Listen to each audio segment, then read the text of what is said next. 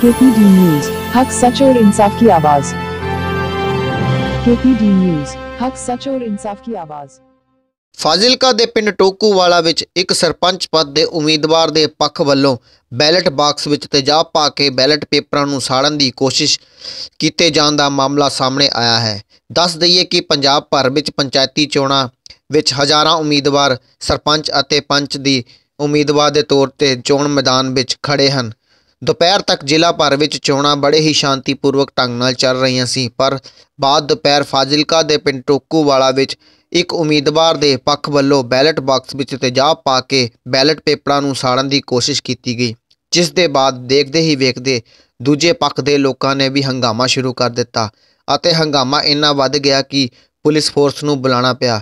ਇਸ ਘਟਨਾ ਦੀ ਜਾਣਕਾਰੀ ਮਿਲਣ ਉੱਤੇ ਫਾਜ਼ਿਲਕਾ ਡਿਪਟੀ ਕਮਿਸ਼ਨਰ ਮਨਪ੍ਰੀਤ ਸਿੰਘ ਅਤੇ ਫਾਜ਼ਿਲਕਾ ਦੇ ਐਸਐਸਪੀ ਡਾਕਟਰ ਕੇਤਨ ਬਲੀਰਾਮ ਪਾਟਿਲ ਮੌਕੇ ਤੇ ਪੁੱਜੇ ਅਤੇ ਪੂਰੇ ਮਾਮਲੇ ਦੀ ਜਾਂਚ ਸ਼ੁਰੂ ਕਰ ਦਿੱਤੀ ਗਈ ਹੈ। ਫਾਜ਼ਿਲਕਾ ਤੋਂ ਸੁਰਿੰਦਰਜੀਤ ਸਿੰਘ ਦੀ ਰਿਪੋਰਟ। ਮਿਲੀ ਮੈਨੂੰ ਤੇ ਐਸਐਸਪੀ ਸਾਹਿਬ ਨੂੰ ਕਿ ਕਿਸੇ ਬੰਦੇ ਨੇ ਇਹਦੇ ਵਿੱਚ ਜਿਹੜਾ ਸਰਪੰਚੀ ਦਾ ਬੈਲਟ ਬਕਸਾ ਸੀਗਾ, ਉਹਦੇ 'ਚ ਕੋਈ ਇਨਫਲੇਮੇਬਲ ਮਟੀਰੀਅਲ ਪਾ ਕੇ ਤੇ ਅੱਗ ਲਾਤੀ ਸੀਗੀ। ਤੇ ਫਿਰ ਮੈਂ ਤੇ ਐਸਐਸਪੀ ਸਾਹਿਬ ਤੁਰੰਤ ਇੱਥੇ ਆਇਆ ਮੌਕੇ ਤੇ। ਤੇ ਮੌਕੇ ਤੇ ਆ ਕੇ 4 ਵਜ ਗਏ ਸੀਗੇ, ਅਸੀਂ ਜਦੋਂ ਬਕਸਾ ਖੋਲ੍ਹਿਆ ਤੇ ਉਹ 'ਚ ਕੋਈ ਮੇਜਰ ਕੋਈ ਉਹਦੇ 'ਚ ਨੁਕਸਾਨ ਨਹੀਂ ਸੀ ਹੋਇਆ ਬੈਲਟ ਪੇਪਰ ਦਾ। ਇਹਦੇ ਵਿੱਚ ਟੋਟਲ ਜਿਹੜੀਆਂ ਵੋਟਾਂ ਨੇ, ਇਸ ਪੰਚਾਇਤ ਦੀਆਂ 158 ਨੇ, ਜਿਹੜੀਆਂ ਪੋਲ ਹੋਈਆਂ ਸੀ 147 ਨੇ।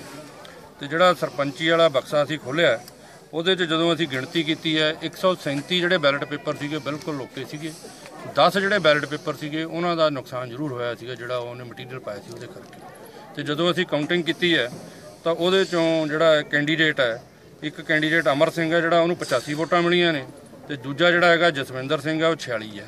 ਜੇ 10 ਦੀਆਂ 10 ਵੀ ਅਸੀਂ ਮੰਨ ਲਈਏ ਵੀ ਜਸਵਿੰਦਰ ਦੀਆਂ ਹੋਣਗੀਆਂ ਤਾਂ ਵੀ ਉਹਦੇ 'ਚ ਮਾਰਜਨ ਬੜਾ ਤੇ ਇਸ ਕਰਕੇ ਜਿਹੜਾ ਅਮਰ ਸਿੰਘ ਹੈ ਉਹ ਜੇਤੂ ਕਲਾਰ ਅੰਦਰ ਉਹਨਾਂ ਨੇ ਦੇਤਾ ਤੇ ਜਿਹੜਾ ਜਿੱਥੋਂ ਤੱਕ ਪਰਚੇ ਦੀ ਗੱਲ ਹੈ ਤੇ ਜਿਹੜਾ ਕੈਂਡੀਡੇਟ ਸੀਗਾ ਇਹਦਾ ਭਰਾ ਸੀ ਇਹਦੀ ਭਰਜਾਈ ਸੀਗੀ। ਉਹ ਪੁਲਿਸ ਨੇ ਅਰੈਸਟ ਕੀਤੇ ਨੇ। ਉਹਨਾਂ ਤੇ ਜੋ ਵੀ ਕਾਨੂੰਨੀ ਕਾਰਵਾਈ ਹੈ ਕਾਨੂੰਨ ਦੇ ਮੁਤਾਬਕ ਉਹ ਕਾਰਵਾਈ ਕੀਤੀ ਸਰ ਕਿਤੇ ਹੋਰ ਵੀ ਕੋਈ ਪ੍ਰੋਬਲਮ ਆਈ ਹੈ ਨਹੀਂ ਹੋਰ ਕਿਤੇ ਨਹੀਂ ਆਈ। ਕੋਈ ਦਿੱਕਤ ਨਹੀਂ। Thank you sir